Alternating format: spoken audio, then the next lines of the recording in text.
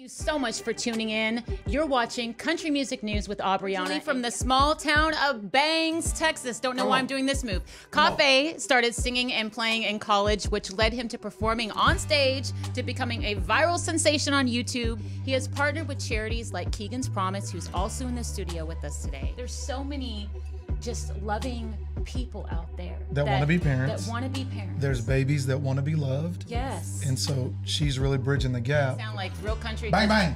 Because isn't that true, y'all? Sometimes we make up stuff. This we talking about real country. Golden Corral is real country.